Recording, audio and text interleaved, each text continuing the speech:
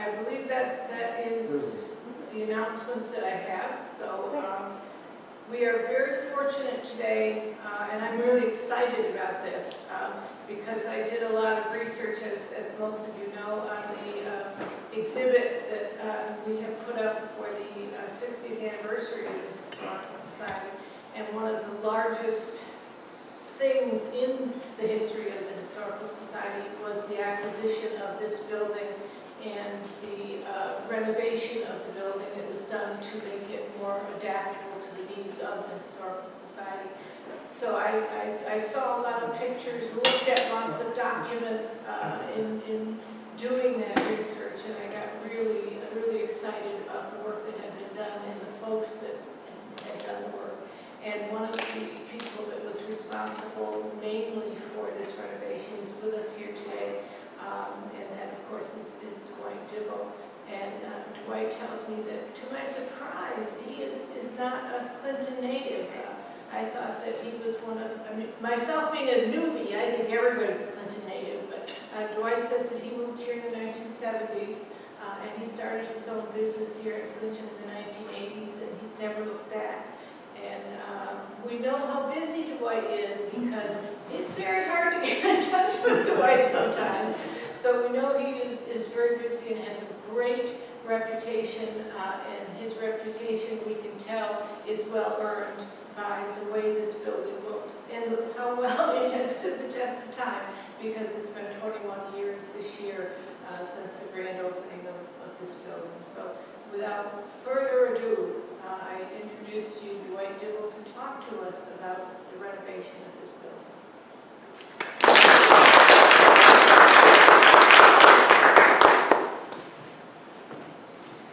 Thank you very much for that wonderful introduction. Um, It's certainly an honor and a pleasure to be asked to do this. Uh, Kind of wonder how, why it took 20 years for people to ask. me. We But wanted to make sure that, that it lasts. your warranty's up, excuse me. But no, anyways, one of the things that um, I wanted to say about working here, and you know, I, I really appreciate the fact that uh, she did a little bit of a memorial for 9/11, because in essence, um, not only want to talk about the building of this building, but I want to relate that to, to people, to the people that worked here, the people that built the original building, and the people that were so dedicated and, and raised the money for the original building. I'm sure this was all about the enthusiasm of it. Because one of the things that prompted me to do what I did here was seeing the enthusiasm of all the people here. Uh, a lot of the faces have changed. I see a lot of them are still here. But some of the people that I worked with back then, it was just a pleasure coming in and doing the work here day after day and wanted to relate how that our work was, yes, sometimes difficult, but how so much easier it is to build these days than it was back then. And how dedicated they had to be back then to come up with a building such as this. We shouldn't forget that, you know, back then, everything was built by hand. There was so much, and I said called blood, sweat, and tears. I don't know if that's the right order of things, but there was so much to do. In other words, we forget that even the foundation of this place was dug by hand. Back then, they had pickaxes, shovels. Sometimes they used what they would call a slip scoop, which was a scoop that horses would, would drag along and drag the dirt out. But so much of this was done by hand. All the work inside here. Think of all the, the material that had to arrive on the site. And that material came in horses and wagons and buggies. Back then, they didn't have nice, fancy, well-painted forklifts to pick the loads up and drop them off. It was Joe, Bob, and, and Larry, and, and all these guys had to unload everything by hand. They stacked every stone by hand. And how did that stone get there? Local quarries. I wish I knew more about, I, I could tell you where the stones, what quarries they came from. But I can assure you, it was not an easy task, getting them here and then stacking them up. So, one of the things that I also wanted to, to relate is the people that I worked with back then in the original building. Uh, one of the things that I wanted to do today was there, as I said, some of my, I don't see here today. I was hoping I would see some more of these. But I don't want to forget, as we memorialize the 9/11, there's an individual here who I'm sure would be here today if he could. So I'd like to dedicate everything I say this program today to Dave Burns. Dave Burns is struggling right now. I'm not sure where he is, but I just hope that everybody kind of keeps him in your thoughts and your prayers over the next few days. Because it was people like him that would come and visit this almost every day and watch our progress. So again, it's not the bricks and the mortar and the stone, because that's all those elements are until we put faces and personalities into the building here. That's what this is really all about. And that's what history really is all about, is not forgetting these people. Because one of the things that we learned about, I remember in Boy Scouts, I, I thought, when would we ever use this kind of thinking? And we were taught, if you ever get lost in the woods, you have a three-point system to help you, instead of just wandering around in circles, go in a straight line and get yourself out of the woods. Past, present, and future. How can we design a good future if we don't know where we came from? If we forget all of this? So that's the three-point system. We got the past, we got the present, and then hopefully that'll help us guide us to the future. Everything in between, we shouldn't forget. So, have some information about this place, hopefully will, will be interesting to you folks. Um, it was built in 1832, I guess is when they finally got enough funding and, and things like that to start building the place.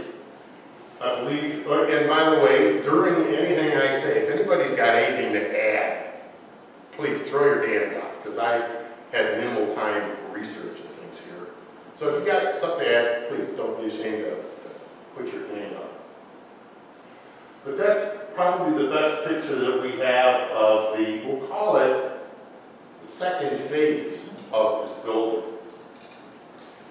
In my research, I also found out that in the 30s, when they first started this, it, I think it had, and I, I, all I can tell is from how this was constructed and some of the wording that was in the research. And from the 30s to the 60s, there was a, there was a time period where the church was going along, my guess is. And then they came up with enough money to, in the in 1860s, to put on a different facade. It said in the literature that the front was built out a couple of extra feet. And I think that was at that time when they added the, the squarish looking facade with the steeple and the bell tower and the steeple on top. My guess is that they formed the congregation in the 1860s, and then they went a 30-year or so period of probably growth, really good growth, and then they were able to continue with the building. Now, the building is of what they call Italianate architecture. And that's got a lot to do with the interior moldings and trim and the centerpiece that we have here. And I'm going to get back to those that in a little bit. But they call it an Italianate architecture. You'll notice that the building is, is a rectangle. One of the things I've noticed over the years of working on several of the buildings in town here, the Stone Church, uh, Episcopal Church, uh, a couple of the other churches in our area, I noticed one thing, that the Protestant churches, the far more Protestant churches, seem to have just a very simple square architecture.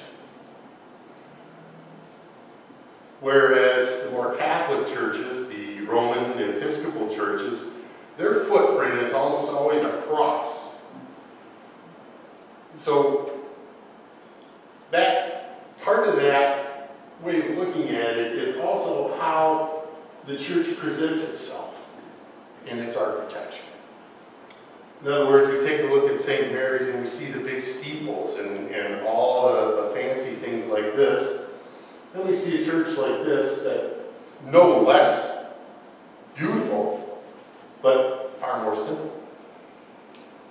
So a lot of the, the, the architecture that we see here also is a carryover from Europe.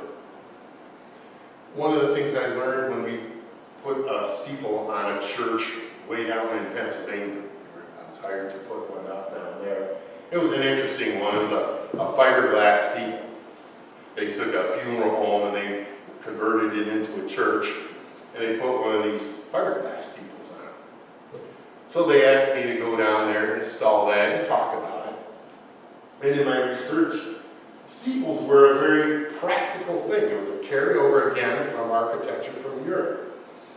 In the early, early years of the church, back when people didn't have wristwatches, we didn't have cell phones, nobody had any of that. And the, the church would be existing, and quite often the bell tower would be separate from the church. Or, in a way, attached. It- it- They were all a little bit different. But there was a reason for the bell tower was to call the town to prayer. People didn't have stopwatches. So, when it's time to go to church, ding, ding, ding, everybody rings the bell. So as time progressed, the, the towers of the bells needed protection. So they started putting roofs on. Well, everybody knows how church congregations can be kind of rough on each other. The, one denomination is critical of one, that one is critical, the other, we don't agree with this, we don't agree with that. So as these churches evolved in these communities, one way of the church body saying that our prayers are just as effective or more effective is because we can afford a big steeple. Okay, we, we're, we're, we're, we're taking in enough money, we're growing enough, we can afford a big steeple. So this is, again, throughout Europe and throughout America too, this kind of said, hey, we're doing the right thing. Well, at a period of time, the steeples start to deteriorate. And who wants to go climb all the way up there and find out how much time you have left on your roof? So we can look at Clinton as a great example of. Because if somebody didn't go up there and check on that, then it started to deteriorate and go away. So all of a sudden, that that steeple is starting to, uh-oh, we got problems now. And now it's not just on the, the smaller churches like this. Most people know there's pictures around here too that are fascinating. If you take a look at the stone church right now, that's approximately 70 feet to the top of it. I measured it myself. If you can imagine another 60 feet of spire made of stone on top of that, that's amazing. Well, things started to happen, things started to move, and they realized it's going to be cheaper to tear it down than to just fix it and maintain it. So now town here, I think the remaining steeples are a former Methodist church. Somebody just told me they spent $320,000 up to now to maintain that one. We got St. Mary's, and I think that's pretty much it for steeples left in town. Church of Annunciation. Church of Annunciation in, uh, Clark Clark Mills, Mills. Clark, they still have theirs? Yes, Okay. Well, somebody's been checking on it then and maintaining it because the wind shear on a steeple is incredible. If you, if that isn't bolted down there and down there tight, that thing is gonna come over. And I'm sure somebody noticed it or pieces of it started falling and that's time to take it down. It's gonna be cheaper to do that than it is to maintain it. So steeple at one point, my guess is shortly after the 1860 renovation, because that would have meant about 60 years of steeple that was removed, and now it looks very much the same as it does in that picture without the steeple, just a flat roof on top. So when I got here, um, first thing we did was start the painting of the project. And it's, it's a clapboard over uh, post and beam type construction. If you could imagine, you know, post and beam, some guy sitting up in that corner up there. And again, I want to relate this to the people, people that worked here, how hard it was to build this place.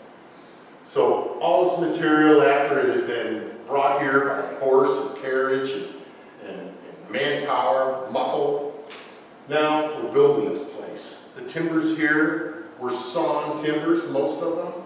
Some of them you can see where they flatten them with the adze, A-D-X, I, I'm not sure how that's spelled. ADZ, thank you.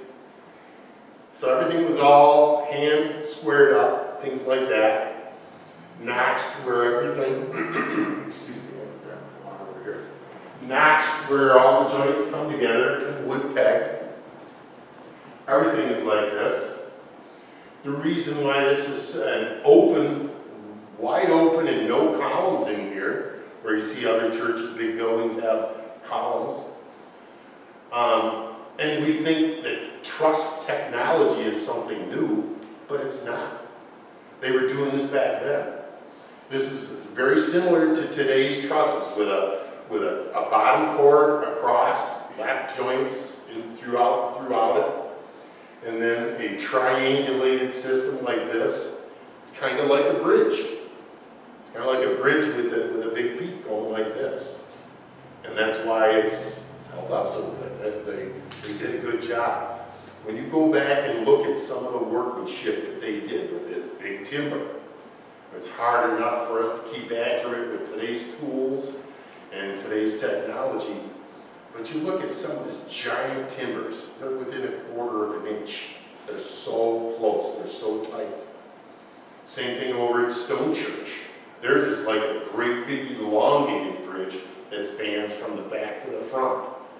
You can't slip a, a table knife in any of those joints, they're still tight. That is going nowhere.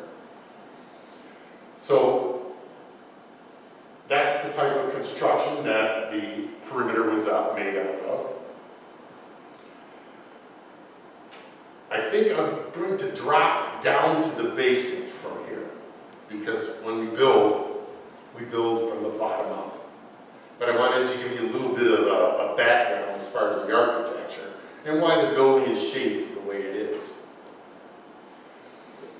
So let's drop down into the basement. Um, and I believe we have some pictures of the basement there for us. Let's start with that one. That's a good, pretty ugly picture, isn't it? Well, that was after we did all the demo and we took all the, the debris out of there and all the old walls and things like that. So we, we guard, the first thing we did, like back, let me back up a little bit, first thing we did was, was paint place, we replaced a lot of clapboards and did things like that. At that same time, there was a couple of, they were good friends of mine, um, did the roofing for us and did a fabulous job on the roofing. So we got the whole place watertight. That was the first thing that you always do with a renovation like this. Make sure you don't have any more water coming in. The water that leaks around bell tower is what destroyed all those ceilings and things around that area in the loft. We're gonna get back to the loft in a minute. We're gonna start in the basement, and so all these guys brought all this stonework and everything like that, and they, they started the foundation. Now, one of the things that we learned throughout historical renovation was that they used a different type of mortar prior to the twenties, nineteen twenties. And it, this is a real important point because there are several buildings in central New York. I know there's one in Colgate. There's our own stone church over here that fell victim. And also, it was recorded in some of the research that I did the other day that this building had had some of this work done to it also. But when the 1920s rolled around, building technology changed because they started to add a third element into the mortar of the joints of all these stones that we see here. Prior to the, prior to the 20s, it was basically the same mix that they built the Egyptian pyramids with. It's a mixture of sand and lime. Very, very little variation of that. So what happened after the 20s and 1920s, people saw erosion on their, on their masonry, stone church in particular. They would use the new mortar to repoint all the masonry. That caused problems. What that does is it traps the moisture that would normally be more or less breathing in and out, passing through, and it creates excessive mortar in the joints of the masonry. So now that mortar's trapped in there and it freezes. And it freezes and thaws, freezes and thaws, freezes and thaws. Next thing you know, stones are popping out. Things are happening, foundation's moving. Literally over here, we started climbing up to check on the uppermost bell tower. I reached up and grabbed one of the stones to climb, and it came off on me, it fell down. We then realized we had a problem, we had to address it. So whenever we do renovation now, we use the correct formula, which is, for anybody's information, it's nine parts sand, seven parts lime, and one part Portland cement. Very little cement to make it hard, that moisture can make its way out. Well, during some time, a process in the, the history of this church, it had a different floor level in the basement. The first floor that was installed here, not sure when it came out, but it was wood. It was a tongue groove pine floor over what we would call these days sleepers. Basically floor joists buried in the dirt all down through there. So when we came, the new, the concrete had already been poured, so that most of it, there was only traces of it in these areas back here, but the concrete had been poured. At the time, they had also dug it down about, I'm guessing, eight to 12 inches. They, they lowered that level of the floor to get more headroom in the basement. Now, this picture here is prior to the removal of the baptismal, because you can still see it up in there, part of it.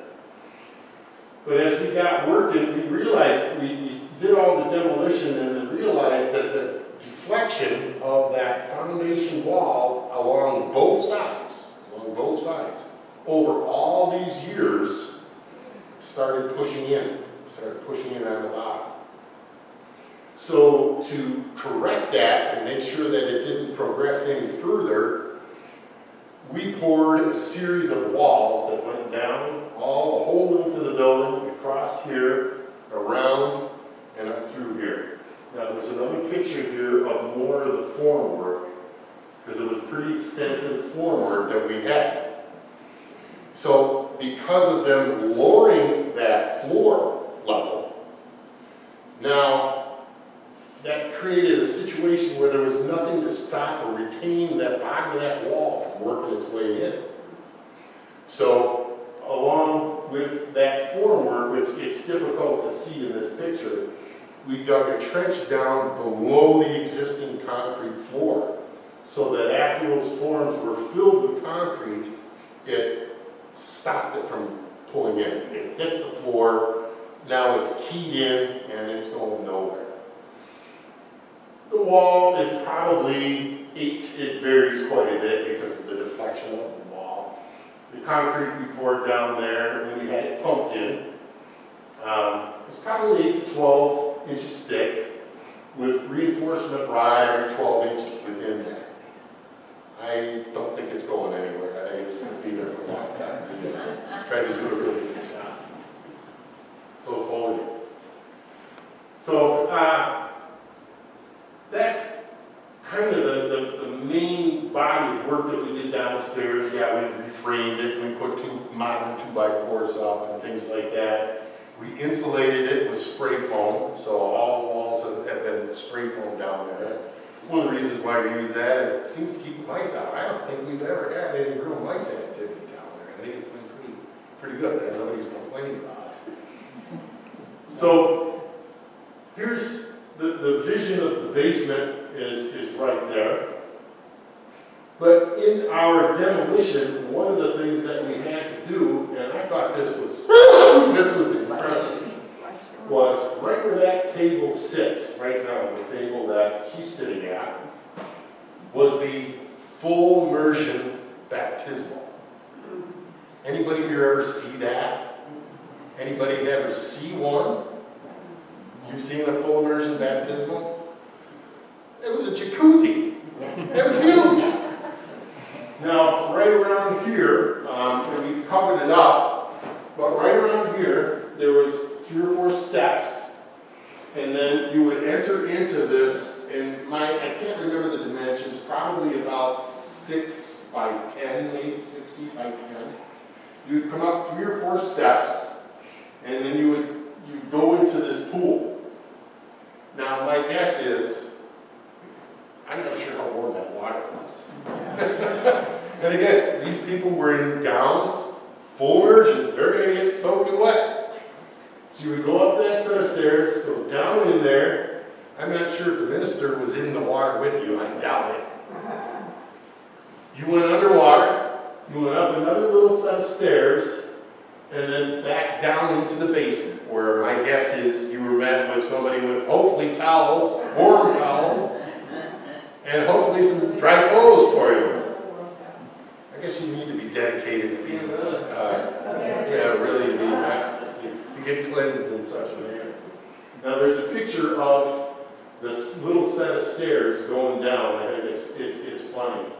Just to think of what it would have been like to go through that ceremony and then come down this little flight of stairs that would be way over that far corner. There's one more picture. Looked like they were having Sunday school. Uh, yeah, they're right there. So that's a picture of the basement. And you can see, oh, a pointer here. That's cool.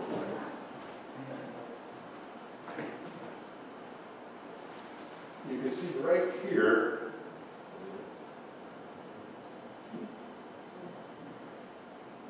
You can see right there where that level was changed. Here was probably approximately the first floor, and then they dug it down to that level there. So you can see where that step was. And then we created one that went way up, approximately four feet, and poured that full of concrete right that area right there. Now, here's that little set of steps that came down through here. I could just picture somebody standing there shivering, waiting for their clothes to get there. So that's, that's one of the things I, I thought was just kind of an amazing thing that, that went on. Okay, so So how did the you get it out? The- How did you take out that full immersion baptism? I'm glad you asked. It took oh, at least a full day, the two of us. I had a gentleman named Kevin Malloy working at that time. That thing was built for good. It was two by sixes, all laying flat, overlapping each other's in the corners, just solid wood. It was made out of uh, tin, soldered joints, had a drain in the bottom, had some piping coming up. I'm not sure what they did for hot water, I'd like to know. But it was, it took us the whole day to get that thing out. I thought, oh, a couple hours, we'll be done. No, sawzalls, sledgehammers, crowbars, took us a while to get that thing Well, had out, to- bit by bit. Yeah, had to carefully reinforce all that water. Absolutely, it was, it was meant to stay. Yeah. So, okay, now we've got the foundation built, now we're framing. Okay, we got all this framing up, as I said before, we got tonguing, or, uh, notched out beams, and the whole thing is all framed up.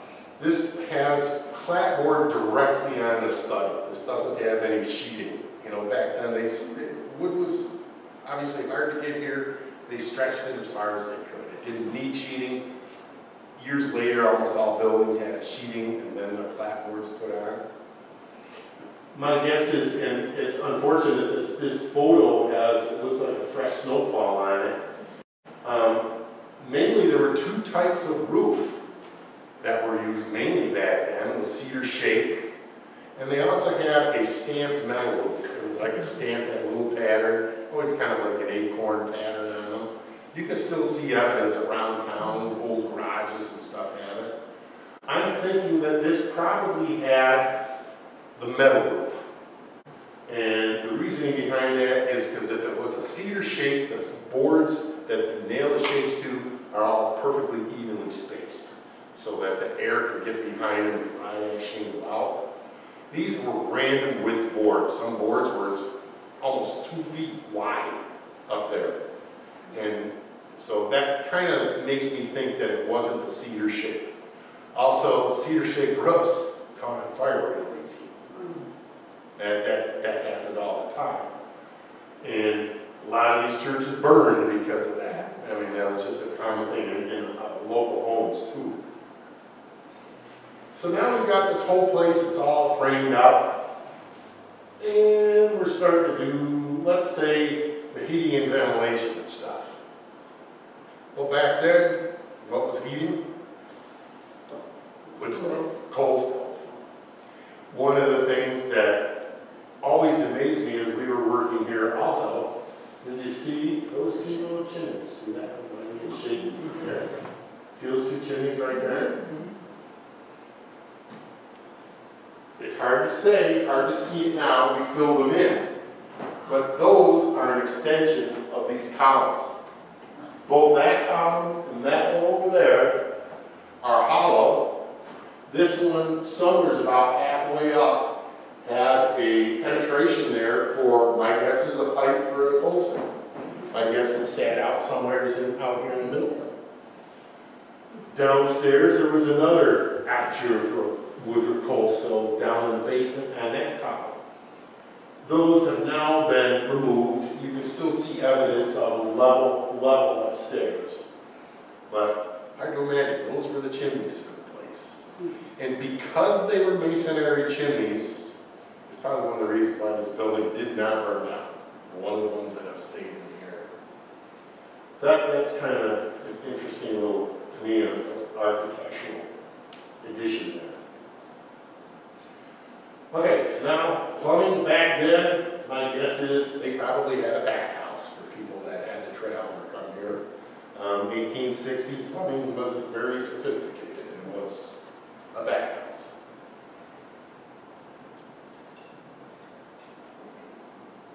Now we've got the whole place all framed up, and some of the work that we did, our framing, we changed, well, of course, we reframed downstairs and a couple modifications for the elevator, modifications for the bathroom and stuff like this. But hard to visualize things the way they used to be. When we came in here, I'm doing a little bit of a walking tour here, hopefully folks won't get a kink in your neck looking. If you can remember that this from here was not existing. That was just straight all the way up to the ceiling and same thing on the other side. You had your choir loft here and you can see where it started and stopped. We tried to mimic that that way the best we could. Um, looks like it could use a little more uh, shinier clear coat on there, but uh, we'll get back to that someday.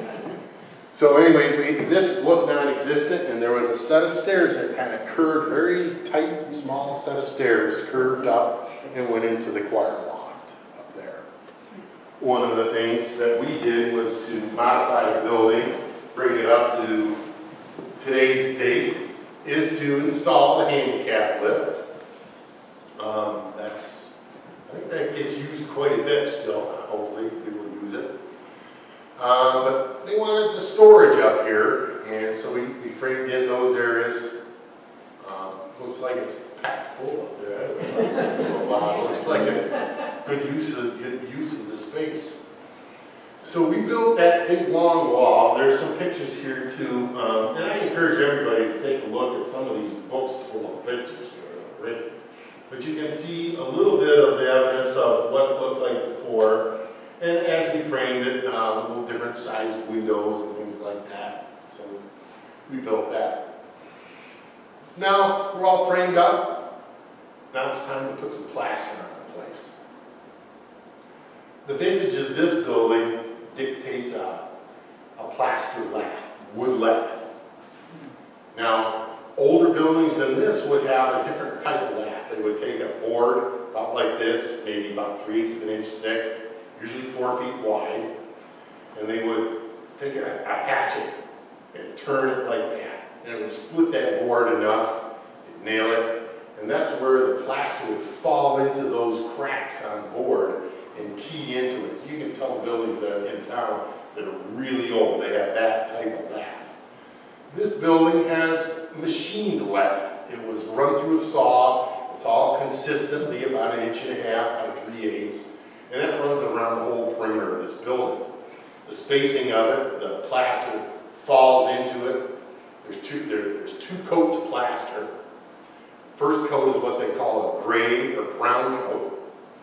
Um, today we call it perlite, but back then, um, the binding ingredient in it was horsehair. Horsehair. Wonder what happened at the delivery, what they, what they do, shave the horses after the deliveries or what? But, so, had this, put all the plas, all the, the lath on, and then the plasters would come. One of the most interesting things about the architecture of this building itself here, and I haven't seen this in any other building in town, you have a very unique thing here. The molding that runs around the perimeter of this building, and it went all the way into there, all the way to the back and back this way. It's fascinating. Had no idea what it, how they would possibly do that until we started doing the demolition in here. And that's when I noticed, wait a minute, there's impressions of plaster all around the whole perimeter, the whole building.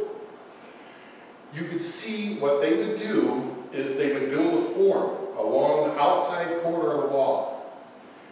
They would take that form and it had different profiles, and then they would make a profile, whatever they wanted, similar to that up there. And they would dump the plaster in the form and then screed it off so that it would produce that shape. And that, that's kind of, screeding is an important word here because along with the plasters, they would do that around the windows. There'd be a little piece of wood that goes around the window to maintain that depth of plaster. And they would use that, what's called a screed edge. So around here, you've got all these pieces, all, the, all this plaster running around the whole perimeter of the building. They would screed it all off. During the process of going from the brown coat, there's two coats of plaster, brown or gray coat, then they would put a white plaster on top of that. But prior to doing that, they went up about as far as they had to. They, they knew where everything, you know, they knew how wide that was going to be. So that was fairly smooth up to there. And then behind those moldings, they, they would scratch it. They would crosshatch, take it right in the wet plaster. They would take a tool and crosshatch it, make it really rough. Like all around, wherever that was going to be, they do, do go in the gray plaster and make it real rough. Because then, after these formed pieces were, they would fracture them. And now, if you were to get up there real close, we, we patched them all up and, and sealed them all up. But if you look really close, about every four feet, there's a crack. About every four feet, all the way around the entire perimeter of this building. They would take these now fractured pieces and, and mud the backside with the white plaster and push them into that. And that's what was holding that up there. These, these small pieces, all the way around the whole perimeter, including that. By the way, anybody that's sitting under that, that's only held up by four bolts.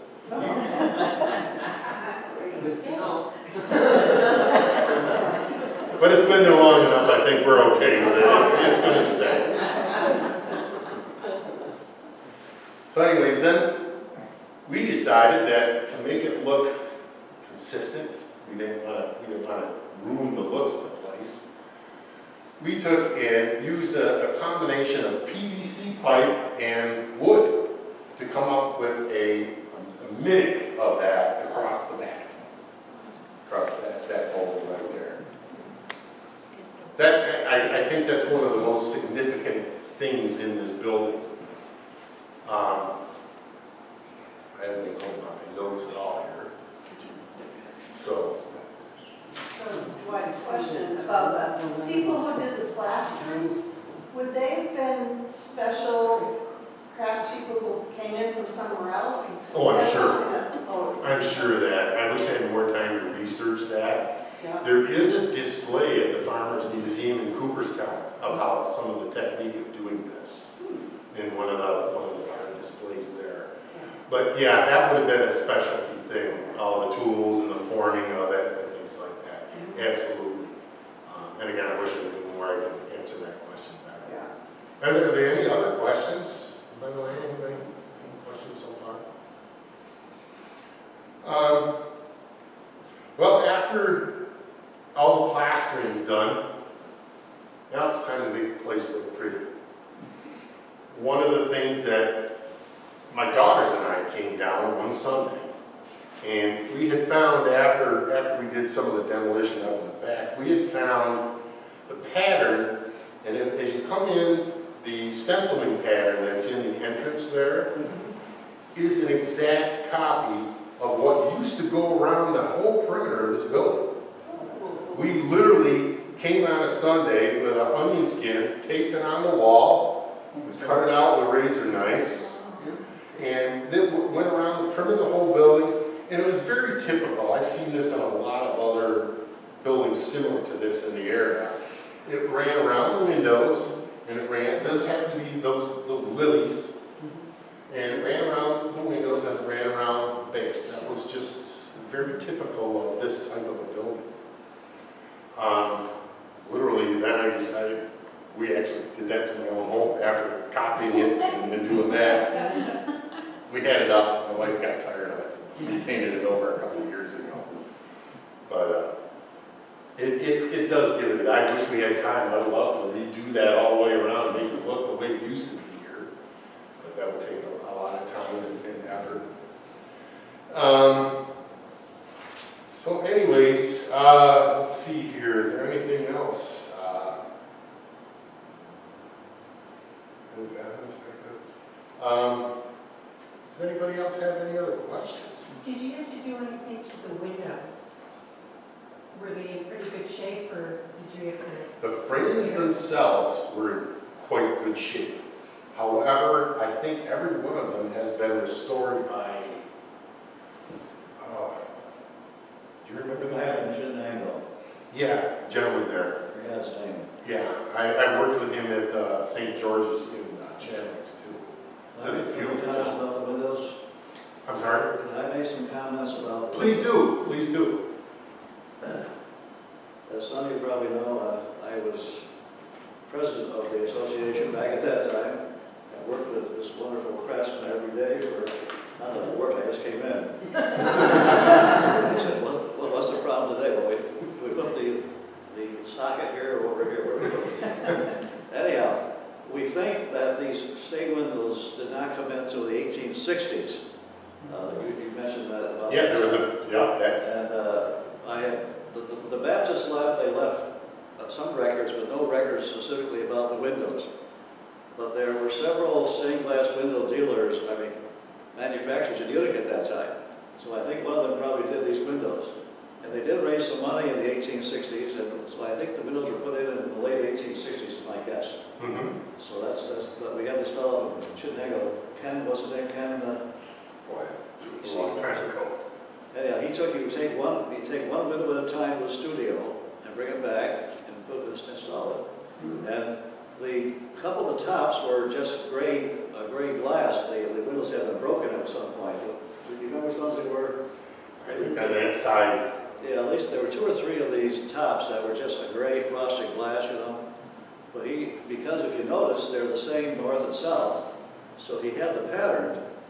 If th- this one was out, was, this one was gray, that one there would be the one when he he replicated it, so it was very easy for him, not easy, but I mean, he had a design, mhm. he didn't have to think of a new design. So I just thought you should be, be aware of that situation. But I enjoyed working with Dick Dwight, it was a wonderful three, or four years there, and we had a lot of, lot of fun and a lot of decisions to make, like, what do you do with the, the organ pipes over there, you know? What do you do with this, what do you do with the organ, what do you do with the, the pews? We had a lot of big decisions to make, so we had a lot of fun doing it. Dick, who was it that donated the money for the windows? That was a, a- one gentleman, right, that paid for the, the windows? Yeah, Henry Richard donated some money to us, a big chunk, Yeah, about forty-seven thousand dollars. Wow. And that took care of uh, chandelier, the- the windows themselves, and uh, maybe something else. I don't know. I think, it- oh, the lights, wasn't it? The, the bigger Well, These schoolhouse. lights are just school lights, they- they're, they're not, I mean, they were new, but they're not, Right. not that expensive. but it, it, it goes back to the beginning of, of my talk here, was the people.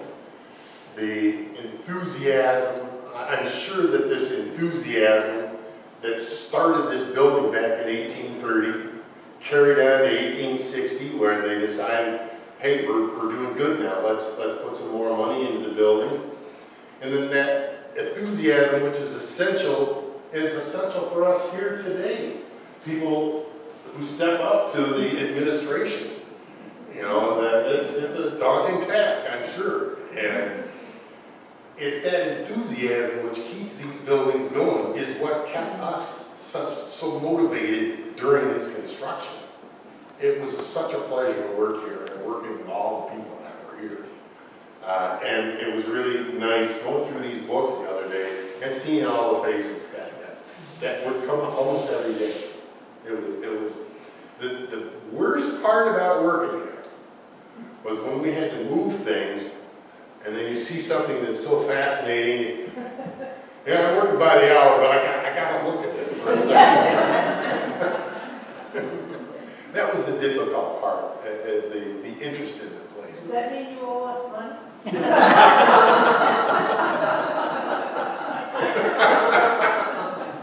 I'll give you some time.